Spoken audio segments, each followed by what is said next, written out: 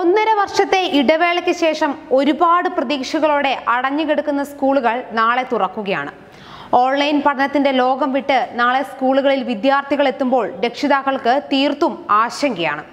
എന്നാൽ കുട്ടികൾ സ്കൂളിലെത്തുമ്പോൾ എല്ലാ സജ്ജീകരണങ്ങളും പൂർത്തിയായെന്നും ആശങ്ക വേണ്ടെന്നും വിദ്യാഭ്യാസ മന്ത്രി അറിയിച്ചിട്ടുണ്ട്. കോവിഡ് പ്രോട്ടോകോൾ പാലിച്ച് പ്രവേശനോത്സവത്തോടെ തന്നെയാണ് സ്കൂളുകൾ തുറക്കുന്നത്. കൃത്യമായ മുന്നൊരുക്കങ്ങളുമായാണ് സ്കൂൾ തുറക്കുന്നതെന്നാണ് വിദ്യാഭ്യാസ വകുപ്പ് വ്യക്തമാക്കുന്നത്. രണ്ടായിരത്തി നാനൂറ് തെർമൽ സ്കാനറുകൾ സ്കൂളുകളിലേക്ക് വിതരണം ചെയ്തു. പ്രതീക്ഷയോടെ വിദ്യാർത്ഥികൾ സ്കൂളുകളിലേക്ക് പോകുമ്പോൾ കരുതലോടെ ആരോഗ്യവകുപ്പും ഒപ്പമുണ്ടെന്ന് ആരോഗ്യവകുപ്പ് മന്ത്രി വീണ ജോർജ് വ്യക്തമാക്കി.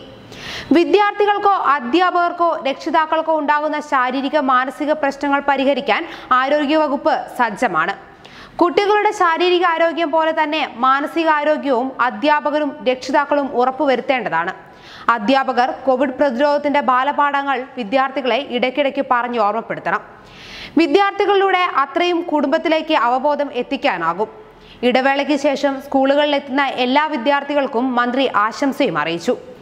എന്തെങ്കിലും ബുദ്ധിമുട്ടുണ്ടെങ്കിൽ തൊട്ടടുത്ത ആരോഗ്യ പ്രവർത്തകരെയോ ദിശാ നമ്പറുകളിലോ ഈ സഞ്ജീവനിയുമായോ ബന്ധപ്പെടേണ്ടതാണെന്ന് മന്ത്രി അറിയിച്ചു. ആദ്യ രണ്ടാഴ്ച ഹാജർ രേഖപ്പെടുത്തില്ല. ആത്മവിശ്വാസം കൂട്ടുന്നതിനായുള്ള പഠനം മാത്രമാകും ആദ്യ ആഴ്ചകളിൽ നടക്കുന്നത്. അതേസമയം വാക്സിൻ എടുക്കാത്ത രണ്ടായിരത്തി ഇരുന്നൂറ്റി എൺപത്തിരണ്ട് അധ്യാപകർക്ക് തൽക്കാലത്തേക്ക് സ്കൂളിൽ പ്രവേശിക്കാൻ പാടില്ല എന്നാണ് നിർദ്ദേശം നൽകിയിട്ടുള്ളത്. എന്നാൽ രണ്ട് ഡോസ് വാക്സിൻ എടുക്കാത്ത രക്ഷിതാക്കളുടെ കുട്ടികളെ സ്കൂളിലേക്ക് അയക്കരുതെന്ന നിർദ്ദേശം നൽകിയിട്ടില്ലെന്ന് വിദ്യാഭ്യാസ മന്ത്രി വ്യക്തമാക്കി.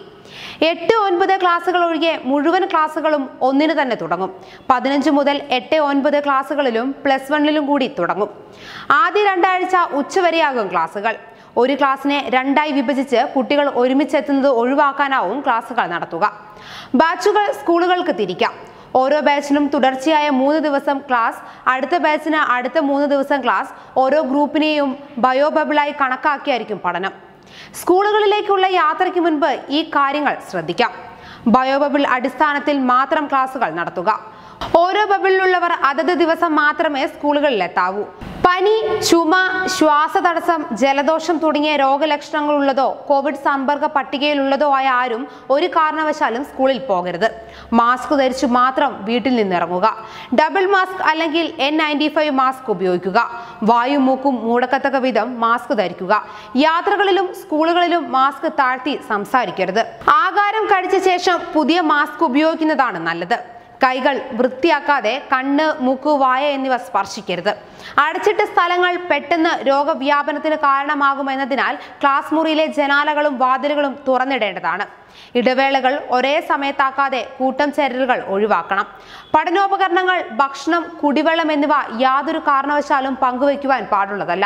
ഏറ്റവും അധികം രോഗവ്യാപന സാധ്യതയുള്ളത് ഭക്ഷണം കഴിക്കുമ്പോഴാണ്. ഒന്നിച്ചിരുന്ന് കഴിക്കുന്നതിനു പകരം രണ്ട് മീറ്റർ അകലം പാലിച്ച് കുറച്ച് വിദ്യാർത്ഥികൾ വീതം കഴിക്കണം. ഭക്ഷണം കഴിക്കുന്ന സമയത്ത് സംസാരിക്കാൻ പാടില്ല. കൈ കഴുകുന്ന സ്ഥലത്തും കൂട്ടം കൂടാൻ പാടില്ല. ഇവിടെയും രോഗവ്യാപനത്തിന് സാധ്യതയുണ്ട്. ടോയ്ലറ്റുകളിൽ പോയതിനു ശേഷം കൈകൾ സോപ്പും വെള്ളവും അല്ലെങ്കിൽ സാനിറ്റൈസർ ഉപയോഗിച്ച് വൃത്തിയാക്കുക. പ്രാക്ടിക്കൽ ക്ലാസുകൾ ചെറിയ ഗ്രൂപ്പുകളായി നടത്തേണ്ടതാണ്.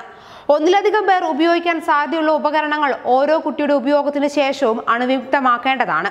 രോഗലക്ഷണങ്ങളുള്ള ജീവനക്കാരുടെയും കുട്ടികളുടെയും പേരുകൾ രജിസ്റ്ററിൽ രേഖപ്പെടുത്തുകയും പതിവായി നിരീക്ഷിക്കുകയും വേണം. ഓരോ സ്കൂളിലും പ്രദേശത്തുള്ള ഡോക്ടറുടെ സേവനം ഉറപ്പാക്കണം. വിദ്യാർത്ഥികൾക്കോ ജീവനക്കാർക്കോ രോഗലക്ഷണങ്ങൾ കണ്ടാൽ സമീപത്തുള്ള ആരോഗ്യ കേന്ദ്രത്തിൽ ബന്ധപ്പെടുക. അടിയന്തര സാഹചര്യത്തിൽ വൈദ്യസഹായത്തിന് ബന്ധപ്പെടേണ്ട ടെലിഫോൺ നമ്പറുകൾ ഓഫീസിൽ പ്രദർശിപ്പിക്കുക. കുട്ടികളും ജീവനക്കാരുമല്ലാത്തവർ സ്ഥാപനം സന്ദർശിക്കുന്നത് നിരുത്സാഹപ്പെടുത്തണം. വീട്ടിലെത്തി ഉടൻ കുളിച്ച് വൃത്തിയായതിനു ശേഷം മാത്രം മറ്റുള്ളവരുമായി ഇടപഴകുക. മാസ്കും വസ്ത്രങ്ങളും അലക്ഷ്യമായി ഇടാതെ സോപ്പ് ഉപയോഗിച്ച് കഴുകി വൃത്തിയാക്കണം. News desk true T